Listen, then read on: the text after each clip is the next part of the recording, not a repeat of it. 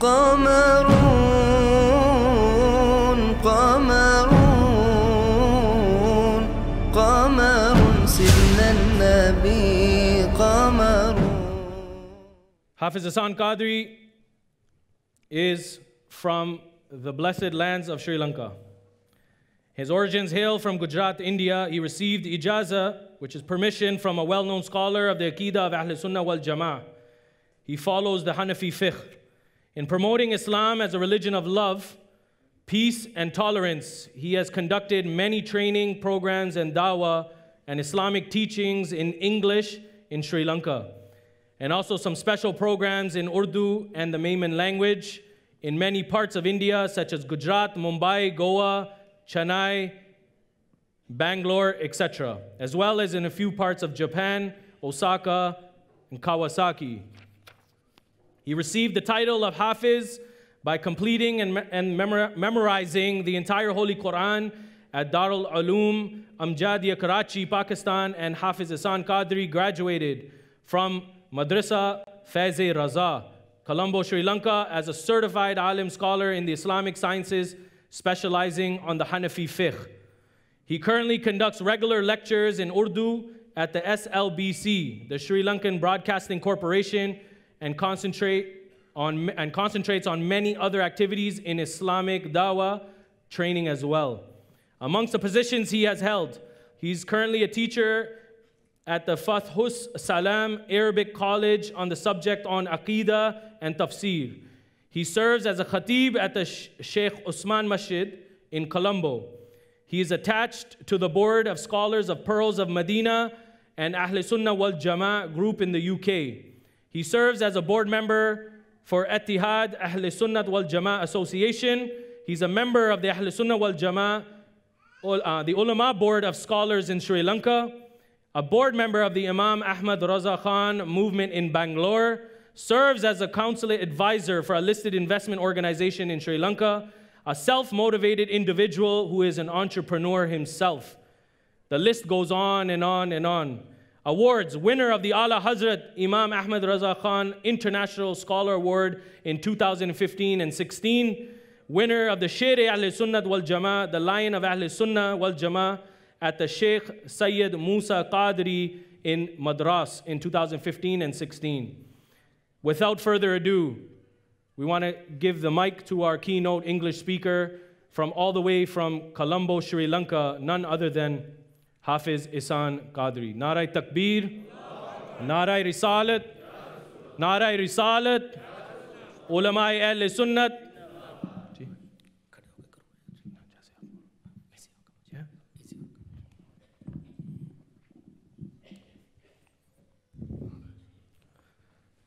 نعرہ تکبیر، نعرہ رسالت نعرہ رسالت.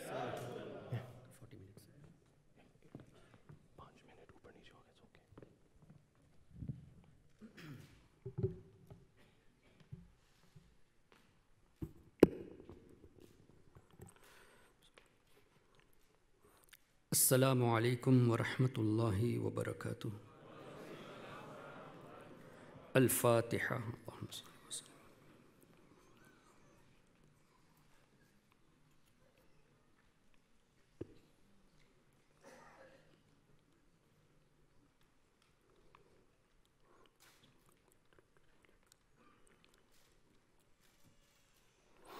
ببركة إن الله وملائكته يصلون على النبي يا أيها الذين آمنوا صلوا عليه وسلموا تسليما.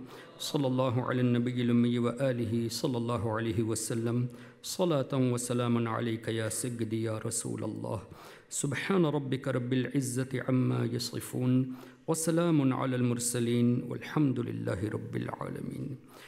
نحمده ونصلي ونسلم على رسوله الكريم. أما بعد فأعوذ بالله من الشيطان الرجيم. بسم الله الرحمن الرحيم. يا أيها الذين آمنوا ادخلوا في السلم كافة. قال النبي محمد رسول الله صلى الله عليه وسلم المرء مع من أحب أو كما قال عليه الصلاة والسلام. الله رب محمد صلى الله عليه وسلم نحن عباد محمد صلى الله عليه وسلم وعلى ذويه وآله أبد الدهور وكرما رب اشرح لي صدري ويسر لي أمري واحلل عقدة من لساني يفقه قولي. غوث أعظم بمن بيسر ساما مدد قبلة دي مدد كعبة إيما مدد. يا صاحب الناهور كل ناصري في السمع والأعضاء وحسن الباصر. وبطول عمر الله بعمر قاصر يا مجمع الخيرات عبد القادر Respected Sadat Idham, Ulama Kiram, my dear elders, brothers and sisters in Islam. Alhamdulillah, I'm grateful to Allah wa Ta'ala for giving me this opportunity to be here in this blessed gathering to say few words related to the creed of Ahlus Sunnati wal Jama'ah. And I'm grateful, I'm thankful to the organizers, Sufi Council of Toronto, and all of you as well. I'm very much grateful to you for be presenting here in order to learn something in light of the Quran and in the light of the hadith of Nabi Kareem sallallahu alaihi wasallam, which will inshallah strengthen further on our aqidah. Dear brothers and sisters, Allah tabaraka wa ta'ala states in the Holy Quran, إن الله عنده علم الساعة وينزل الغيث وَيَعْلَمُ مَا فِي الْأَرْحَامِ Now, if I want to touch on few parts of this verse, generally people do translate in such a manner that Allah is the one who has the knowledge of the Qiyamah. Indeed, it is right. What is in the womb of the mother? Indeed, it is right that Allah is the one who is aware. Who will die, when, and at which place? Of course, Allah is well aware of that. But there is a last part of this verse that is Inna Allah alimun khabir. Indeed, Allah is the knower and the informer. Now the question arises to whom does Allah inform that when is Qiyamah? To whom does Allah informs that what is in the womb of the mother, who is going to do what tomorrow, and where a person is going to die, and when there will be rain. So if we refer to the Quran again, Allah Ta'ala clearly states, وَمَا كَانَ اللَّهُ لِيُطْلِعَكُمْ عَلَى الْغَيْبِ The mafhum of which is that, O common people, Allah does not give you the knowledge of the unseen. Allah clearly states, O the common people, Allah does not give you the knowledge of the unseen. But وَلَكِنَّ اللَّهَ يَجْتَبِي مِن رُسُلِهِ مَن يَشَاءُ he gives the knowledge of the unseen to His messengers. Now, in the light of the Quran, a clear verse of the Quran, the Rasul of Allah, the messengers of Allah, they are given the ilmul ghaib knowledge of the unseen. Now, this is not what I say or our ulama say. This is the nas of the Quran, directly from the Holy Quran. Then again, our Nabi sallallahu alaihi wasallam clearly stated that when a child is in the womb of the mother, when a mother conceives, angel, they descend and they write four things. One, the child who is going to be born whether male or a female. Now, by the bestowal of Allah, this particular angel is aware what is in the womb of the mother before the birth, whether a male or a female. This is first thing. The second thing, how long this child will be living in this world. The duration of his life is also known to whom? The angel. Third thing, how much rizq has been allocated to this child? What is the rizq? Now, if I ask you, do we know that in this year, how many dollars am I going to earn? We can't predict. It can be more, it can be less than our prediction. no one knows that how long are we going to live here. It may be 100 years, it may be 75 years, it may be 50 years, even the death may come tomorrow. We never know that. But before we were born, those angels were given this knowledge that how long are we going to live. What is the rizq has been allocated. And again, at the time of the death, whether this person will be Sa'id or Shaqi, a fortunate person or a person who is unfortunate. So the end state of a person is also known to the angels before the creation of human being in this world, before his birth. Have you ever heard that anyone who propagates against the belief of Ahlus Sunnati wal Jama'ah saying in such a manner that no, this is not this is not possible. How come the angel is aware whether the child going to be born is a male or a female when Allah says, وَيَعْلَمُ مَا فِي الْأَرْحَامِ Only Allah is aware. We never heard this. No one objected in this manner as well that how do you say, how did our Nabi sallallahu alaihi wasallam say that the angel is aware how long the child is going to live? Allah says in the Holy Quran that He is the one who created, only He is aware. How much the rizq has been allocated, no one objects when the matter of the angel arises. But at the same time, if a Sunni scholar says in light of the Quran and the Hadith that Allah has given this knowledge to our master, your master, the master for the entire creation, the most beloved of Allah, Sayyidina Muhammadur Rasulullah sallallahu alaihi wasallam, that Allah has given him such knowledge that he is aware what is the state of a person at present and what will be at the time of his or her death, immediately we find objections. No, this is shirk. This is bid'ah to believe. How come Nabi be aware when Allah says that only Allah is aware? But the same matter, when we talk about the angels, no one raises any objection. What do we understand from this? there is an animosity towards the excellence of Nabi Kareem sallallahu alaihi wasallam. Why is that? Why is it a problem for these people when the Lord gives such excellences to His beloved? Who are we to object? What are the rights we got to object when Allah, the Lord Himself, gives such excellence to His most beloved sallallahu alaihi wasallam? And further, we also believe that Allah has given such knowledge to His Habib sallallahu alaihi wasallam that our gathering today here in Toronto, we believe that our Nabi is aware. We believe our Nabi is observing, watching us. We never deny tasting of the death. After tasting of the death, all the prophets of Allah salam, they are physically alive in their graves and they can wish, they can visit wherever they wish to visit. And a clear example in light of the hadith of Nabi Kareem sallallahu alaihi wasallam is the incident of Mi'raj when our Nabi sallallahu alaihi wasallam went to Masjidul Aqsa Sharif from Makkatul Mukarramah. Before our Nabi reached Masjidul Aqsa, refer to the hadith, even Tafsir ibn Kathir, in Tafsir ibn Kathir, Hafiz ibn Kathir has quoted this hadith.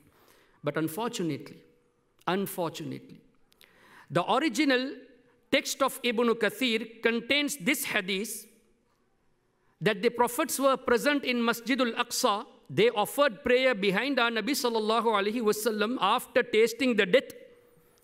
That means they knew that our Nabi is going to come. So before the presence of our Nabi, all the prophets came to welcome our Nabi sallallahu alaihi wasallam.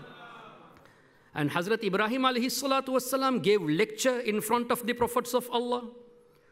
Hazrat Musa alayhi salam, he gave lecture in front of the prophets of Allah. After leaving this world, a Nabi of Allah giving lecture in front of the Anbiya Kiram alayhi salam, who also left this world.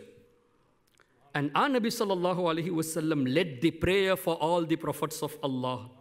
Now tell me honestly, if there was not a physical body, how come the prophets would pray behind our Nabi sallallahu alayhi wasallam? Without the physical body, how could they pray? Sayyidina Jibreel alayhi salam says, Ya Rasulullah sallallahu alayhi wasallam. all the prophets who were sent before you had offered prayer behind you, Ya Rasulullah. One hadith recorded also in Ibn Kathir. Another hadith, Nabi Kareem sallallahu alaihi wasallam says, I have led the prayer for all the prophets of Allah. One that our Nabi says, I led the prayer for all the Anbiya. Other narration, Jibril alayhi salam says, Ya Rasulullah, all the prophets of Allah who were sent by Allah have offered prayer behind you. Now, all the prophets, they came before our Nabi in this world, but by offering prayer behind our Nabi sallallahu alaihi wasallam, they are showing that, Ya Rasulullah, though we came before you, but offering prayer behind you, we show to the world, the entire creation that, Ya Rasulullah, though we came before you, but you are our Imam, Ya Rasulullah. You are our leader. This is what Sayyidi Ala Hazrat Imam Ahmad Raza Rahmatullahi alayhi states in Qasidatul Mi'rajiya Sharif. Namaz Aqsa mein tha yehi sir.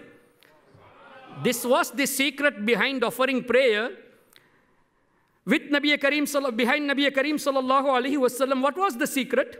نماز اقصا میں تھا یہی سر کہ آیا ہو مانی اول آخر to identify to distinguish who is the first and who is the last کہ دست بستہ ہے پیچھے حاضر جو سلطنت آگے کر گئے تھے all those prophets of Allah who had ruled the entire entire world by the blessings of Allah by tying hands before Nabi Kareem sallallahu alaihi wasallam they show that ya Rasulullah you are our imam Though we came after you, you are our Imam. Subhanallah. So these ahadith are recorded in Tafsir ibn Kathir, but very unfortunately, I would have presented a PPT presentation for this, but unfortunately, due to some reason, I could not proceed with that. The present English version of Tafsir ibn Kathir, which has been translated by those ulama who follow the path of Wahhabism. I don't say they are Wahhabis. They themselves claim that we are following Ibn Abdul Wahhab Najdi. So when they identify themselves as Wahhabis, we don't mind calling them Wahhabis. Because they label themselves that we are the followers of Ibn Abdul Wahhab Najdi.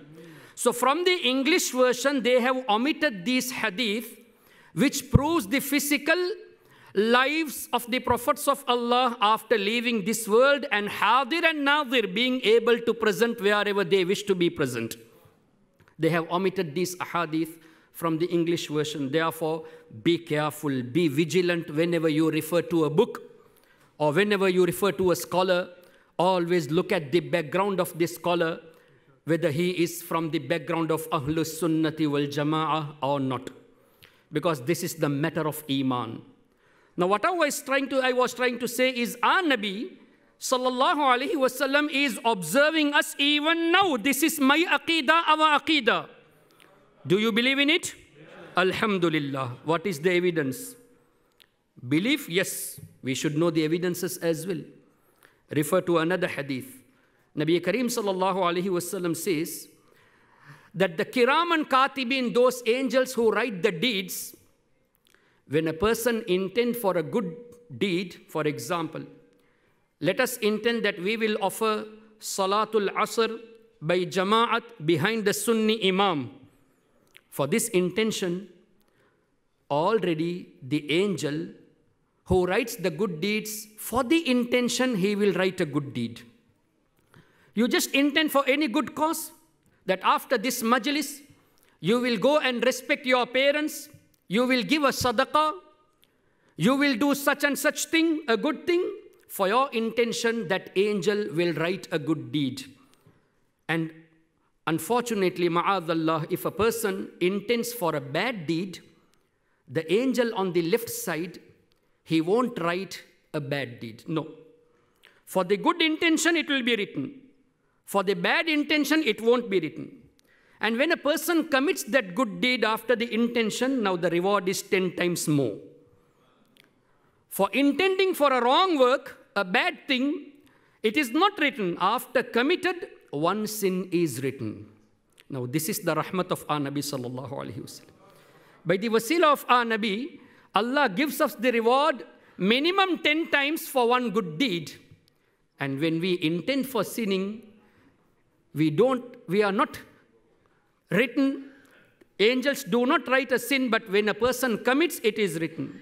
Now, I ask you all honestly for the angel to write a good deed for your intention and not to write for the bad intention, tell me honestly whether the angel is aware of our intention or not Without being aware of what we intended, how could angel write and how, can, how could he refrain writing a bad deed for our wrong intention? So, in light of the hadith of our Nabi sallallahu alaihi wasallam, these angels are aware of our intentions and our actions too. Quran states, وَإِنَّ عَلَيْكُمْ لَحَافِظِينَ كِرَامًا كَاتِبِينَ يَعْلَمُونَ مَا تَفْعَلُونَ Allah has appointed angels for you. They are protectors. Allahu Akbar. Allah says angels are protectors. Whereas Allah Himself says in the Holy Quran, I am the only protector. I am the only supporter. Here Allah says, My angels are protectors. What do we understand? Yes, the protection is from Allah in reality, but when the protection comes through the angel, it's by the bestowal of Allah. So when we say Hazrat Jibreel alayhi salam protected me, this is not shirk. Because Allah is the one who appointed Hazrat Jibreel alayhi salam as a protector. And when we say Allah's Rasul sallallahu alayhi wasallam protected me, is it shirk then? Why? Because Allah says, Innama waliyukumullah. Indeed, Allah is your supporter. Wa rasuluhu, Allah's Rasul is your supporter.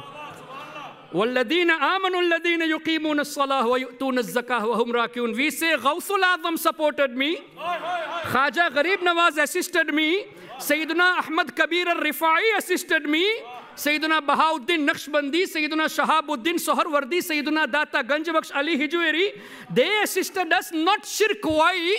اللہ سیس مائی اولیاء are supporters my pious servants are supporters فإن الله هو مولاه وجبريل وصالح المؤمنين The pious servants of Allah, they are helpers. وَالْمَلَائِكَةِ بَعْدَ ذَلِكَ ظَهِيرٌ The angels are also supporters.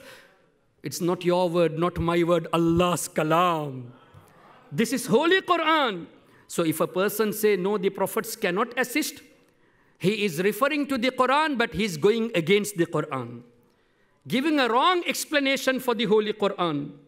So my dear brothers, Nabi Kareem sallallahu alaihi wasallam says that angels are aware of our actions and of our intentions. Did you find any objection?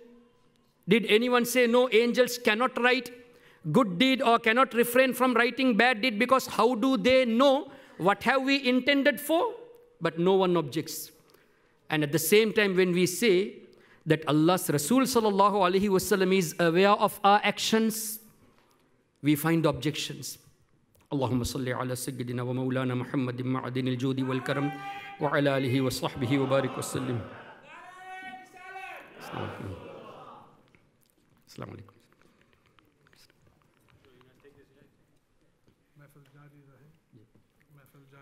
اللهم صل على سيدنا ومولانا محمد معدن الجود والكرم وعلى آله وصحبه وبارك وسلم So when we say that Nabi Kareem sallallahu alaihi wasallam is well aware of our actions, we find objections.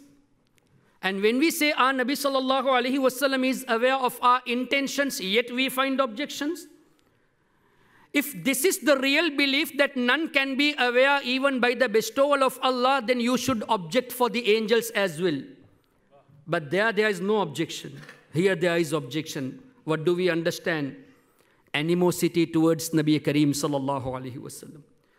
Why is it worrying you when Allah gives such excellence to His Habib sallallahu alaihi wasallam?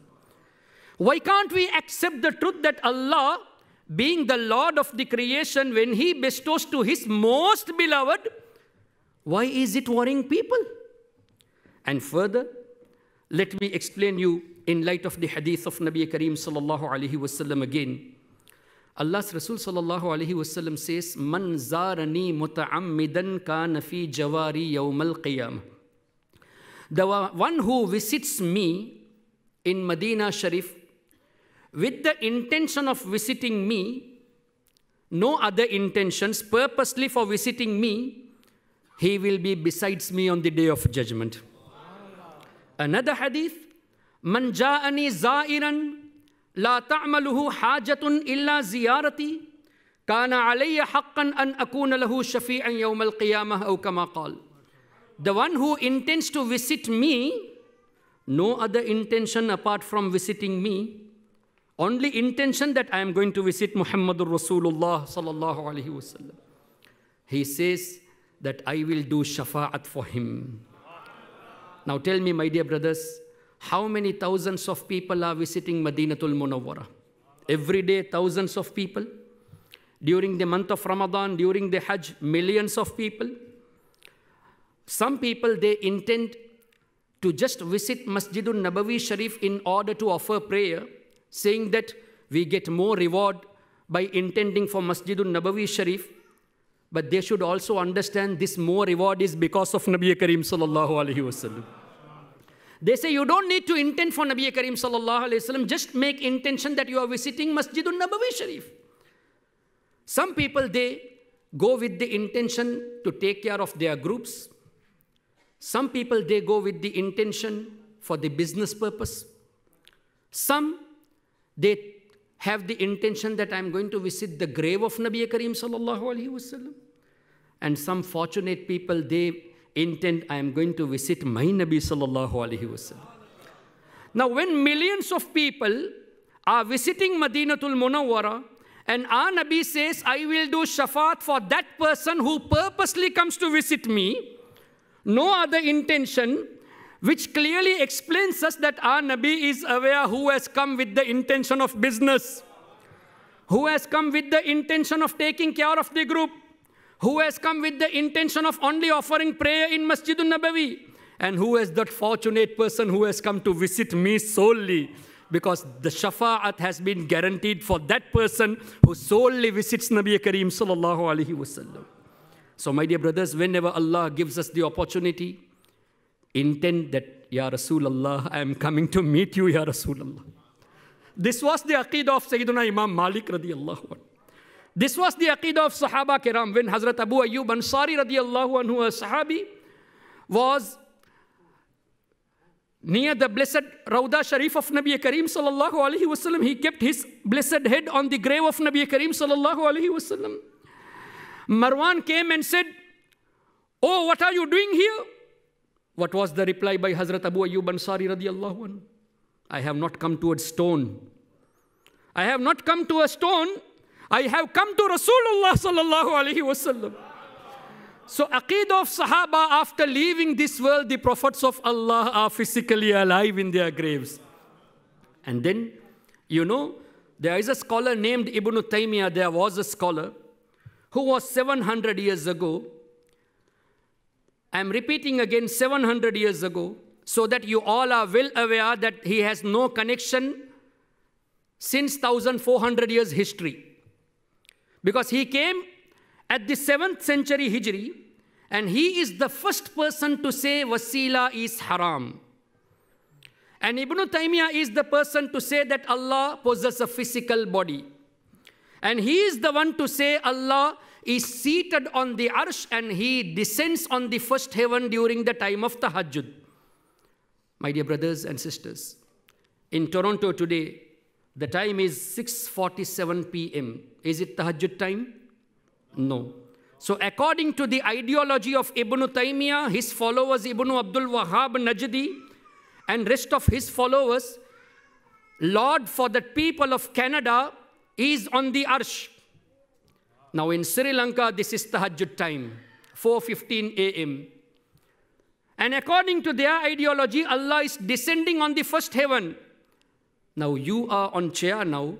When you come down, you are no more on the chair. And when you go back, you are no more on the floor.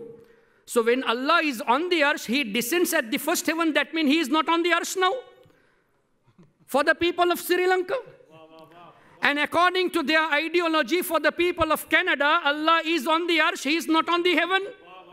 So you mean to say you believe in the oneness of Allah, yet you believe in two Allah? You accuse the people of Ahlus Sunnah as mushrik, yet you believe in two Allah that for the people of Canada, Allah is on the arsh, and for the, for the people of Sri Lanka, India, and Pakistan, Allah is on the first heaven. Are you making fun of Allah? Yes, there is a hadith that Allah descends. What does it mean? If it was easy to get the meaning from the Quran and hadith by merely referring to the direct translation, what was the necessity for the muhaddithun and mufassirun to write the tafsir of the Quran, which is in Arabic, the tafsir also in Arabic? What was the need? Why did, why did they write the tafsir of hadith and Quran in Arabic language? Those great scholars, they knew that it is not easy to understand the Quran directly. One cannot understand the Quran directly except for Sayyidina Muhammadur Rasulullah sallallahu alaihi wasallam. Why? Because Allah says, Ar-Rahman allama al-Quran. Allah has taught Quran to His Habib sallallahu alaihi wasallam. Allah says, Sanuqri'uka fala tansa, O my Habib, we will make you read that you will never forget. Allah says, Fala tansa, you will never forget. Illa masha Allah, O my Habib, even if you forget, that would be by the will of Allah. You won't forget at your own. By the will of Allah, you will forget, so that making you forgetful for a reason, and our Nabi says that I don't forget, Allah makes me to forget so that during my forget, forgetfulness, a sunnah to be established. So forgetfulness of Nabi sallallahu alaihi wasallam, there are also wisdoms. And further Allah says, وَنَزَّلْنَا عَلَيْكَ الْكِتَابِ تِبِيَانًا لِكُلِّ شَيْءٍ O my Habib, the kitab, what we revealed upon you, contains everything in detail. So Quran has been taught to his Habib sallallahu alaihi wasallam. And further Allah says, وَعَلَّمَكَ مَا لَمْ تَكُنْ تَعْلَمْ O my Habib, Allah has taught you all whatever you did not know. So after this verse of the Quran, none should bring any incident saying that our Nabi was unaware at that particular moment on this matter. We have no right to say. Why? Because when Allah says hereafter, there is nothing remaining to say, Oh Nabi, you are unaware because we have taught you all whatever you did not know. That means now everything is known to Nabi Kareem sallallahu alaihi wasallam what is going to happen until Qiyamah. So now none can bring any evidence from the hadith or from the verse of the Quran to say, our Nabi was unaware of such and such thing before.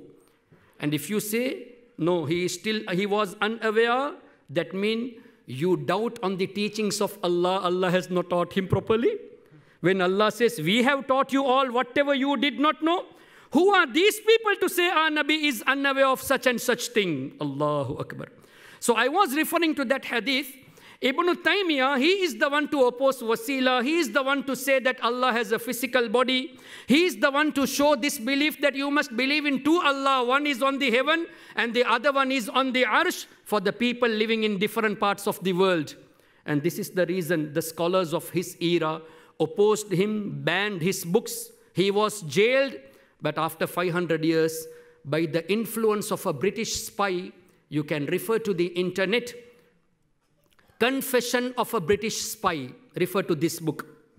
And Lawrence of Arabia, refer to this documentary.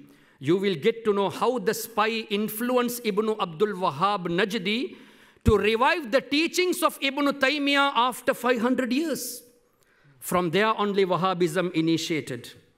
So in short, their aqidah ends with Ibn Taymiyyah our aqidah goes up to Muhammadur Rasulullah sallallahu ta'ala alayhi wasallam. So this is why we always give the message. Why do you need to follow Ibn Abdul Wahhab Najdi and Ibn Taymiyyah? Come, come to the fold of Ahlus Sunnati wal Jama'ah. This is the path of salvation. So now they say, Ibn Taymiyyah said, no, these hadith where our Nabi said that the one who comes to visit me with the sole intention of visiting me, these are fabricated. Or these are weak. تعہ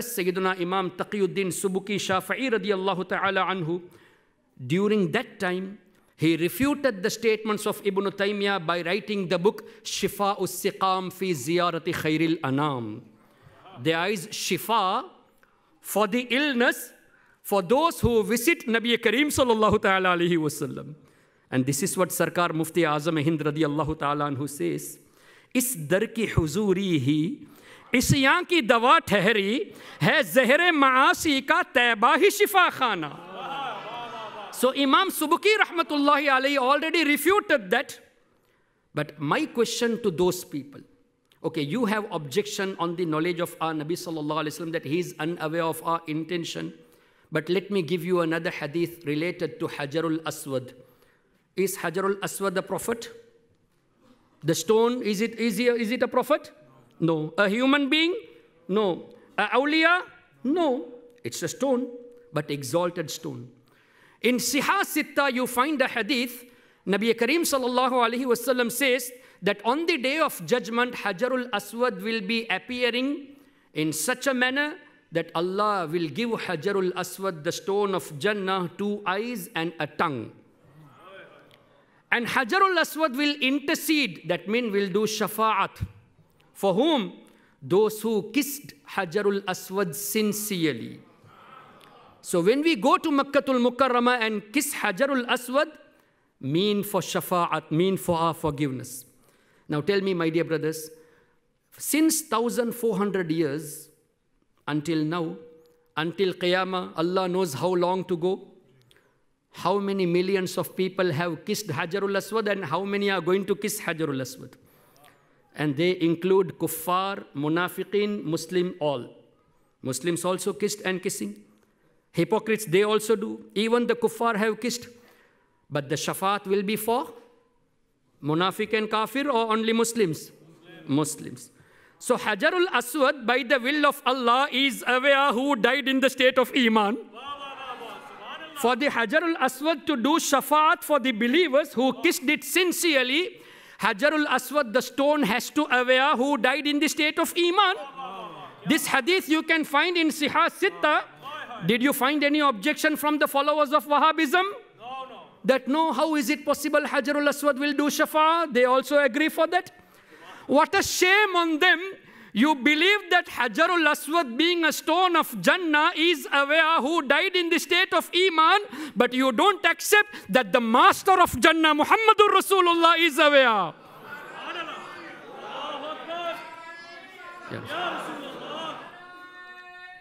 Ya Rasulullah. Hmm. Subhanallah. Allah. So, my dear brothers, these are the differences.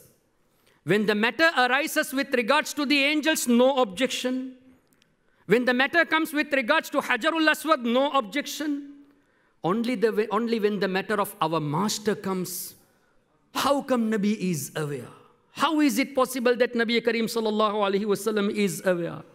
Before I end, Nabi Kareem sallallahu alaihi wasallam has said in the hadith very clear, Hayati khairul lakum. My living in this world is better for you. Wa wafati khairul lakum. My leaving this world is also better for you. Now the question arises, living in this world better for us, understood. But leaving this world is better for you. How to understand? Now there is the problem. People have not understood the concept of the death. Meaning of the death is separation of the ruh from the body. Separation of the soul from the body. But those people who follow the Wahhabism, Najdism, Deobandism, they believe that when a person dies, that soul completely ceased. My dear brothers, death is a bridge for us to travel from this temporary world towards the permanent world. And in light of the hadith, Dunya world is jail for the believers. When a person gets freedom from the jail, obviously he is in a vast area. And after tasting the death, the next part is akhirah. That means getting more closer to the rahmat of Allah. Because if there is nothing after death, then why the comfort of Jannah given in the grave? Why the punishment is given when there is no life? So the concept of, of death has not been understood. Nabi Karim sallallahu alaihi wasallam says, "My leaving this world is also better for you." Reason? He himself says that, "O people, after I leave this world, your actions will be presented to me. By looking at your good deeds, I will be grateful to Allah." And by looking at your bad deeds, I will seek forgiveness for you from the, in the court of Allah. How rahmatul lil alameen. How merciful is our Nabi? That even today, he is observing our actions and seeking forgiveness for us. And why not? Allah states in the Holy Quran, وَاسْتَغْفِرْ لِذَنْبِكَ وَلِلْمُؤْمِنِينَ وَالْمُؤْمِنَاتِ O my Habib, seek forgiveness for your closed ones and for the believers. So Allah's command for him to seek forgiveness for whom? Believers. Are we believers or not? Alhamdulillah, we are believers. When we are believers, our Nabi is seeking forgiveness for us even now. If a person say, no, no, he sought forgiveness at that time, now he, is, he can't seek forgiveness, no problem. You do not consider yourself as a believer. That is your problem. Allah states in the Holy Quran, لَقَدْ جَاءَكُمْ رَسُولٌ مِّنْ أَنفُسِكُمْ عَزِيزٌ عَلَيْهِ مَا عَنِتُّمْ حَرِيصٌ عَلَيْكُمْ بِالْمُؤْمِنِينَ once again, Bil Mu'minina. I need to emphasize to the youths, Bil Mu'minina. Allah says, My Habib is Ra'uf and Rahim for whom? Believers, for the Mu'minin. Allah is Ra'uf, Allah is Rahim. Allah has blessed His Habib with this quality of Ra'uf and Rahim. We are believers, so even now our Nabi is Ra'uf for us. Even now our Nabi is Rahim for us. And the followers of the Wahhabism, they say, no, no, he was Rahmat. Now he is no more. Why do we need to argue with those people who do not consider themselves to be among the mu'mineen? If they are believers, then they have to believe our Nabi is Rahim for them even now.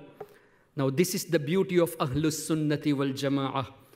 We believe, in light of the Quran and Hadith, that our Nabi is Rasul of Allah or was Rasul of Allah. Is or was. La ilaha illallah Muhammadur Rasulullah. When he is Rasul, then all the qualities of Rasul still exist in him. None can say he is Rasul, but the quality of Rasul being blessed with the knowledge of the unseen is no more. Being removed of the calamities is no more. Being Hadir and Nadir is no more. Being Shahid witness is no more. None has the right to say. Who gave them the right to differentiate the attributes of Rasul? When he is Rasul, he is Dafi'ul Bala even today. When he is Rasul, he is witness even today. When he is Rasul, he is Rahmat, Ra'uf and Rahim even today. Alhamdulillah, we are believers for us. He is Ra'uf, he is Rahim, he is Aziz, he is Rahmat, and he is Shafi'ul Mudnibin for us. So these are the basic differences. I have mentioned only a few due to the time factor the differences between the Aqidah of Ahlus Sunnati wal Jama'ah and of others. And before I end, if I ask you this question, who is the founder for Wahhabism? Ibn Taymiyyah. Who is the founder for Deobandism? Qasim Nanotwi. Who is the founder for Jamaat Islami? Abul A'la Maududi. Who is the founder for Qadiani? Mirza Ghulam Ahmad Qadiani. They have founders. That means they show us that they are the innovators. They are the bid'atis. Our founder is only and only Muhammadur Rasulullah sallallahu alaihi wasallam. We do not have founder called any Najdis. Yeah. Yes, indeed, we have our guides, Imam al-Azam, Imam Malik, Imam Shafi, Imam Ahmad, Sayyidina Gawth al-Azam, Sayyidina Khaja Gharib Nawaz. They are our guides. They are not our founders. Founder is Muhammadur Rasulullah sallallahu alaihi wasallam. And why they are guides? Because Allah has made them the guide. Sirat al-ladina an'amta alayhim al-nabiyyin was-siddiqin was-shuhada was-salihin. Every day, minimum 20 times, we say, Ya Allah, guide us on the path of the pious people. So we ask from Allah to remain on the path of the pious people. After Salah, we do follow that. And oh, the followers of Wahhabism, you say, we don't need awliya. Then why are you asking this dua in your prayer to be guided on the path of the awliya? In the path of the salihin, why do you pray? The difference is clear. Your prayer, your dua in your prayer is not accepted. That is why you are away from path of awliya. We may be sinners, but Alhamdulillah, our prayer is accepted because we are on the path of awliya by the grace of Allah Ta'ala. So be away from those people who have initiated new beliefs, who try to uh, confuse the thoughts of the youth, saying that Ahlus Sunnati wal Jama'ah are innovators. No, my dear brothers, we are not innovators We are the true followers of the Quran and Hadith, and they are the innovators. May Allah unite all of us on the Aqidah of Ahlul Sunnati wal Jama'ah. May Allah grant all of us the tawfiq to remain firm on the Aqidah of Ahlul Sunnati wal Jama'ah, and all the organizations of Ahlul Sunnati wal Jama'ah should unite and work in this country for the betterment of Ahlul Sunnati wal Jama'ah. May Allah grant all of us the shafaat of His Habib. Sallallahu alayhi wa sallam. Subhanakallahumma wa bihamdika ashhadu an la ilaha illa anta astaghfiruka wa atubu الیک السلام علیکم ورحمۃ اللہ وبرکاتہ۔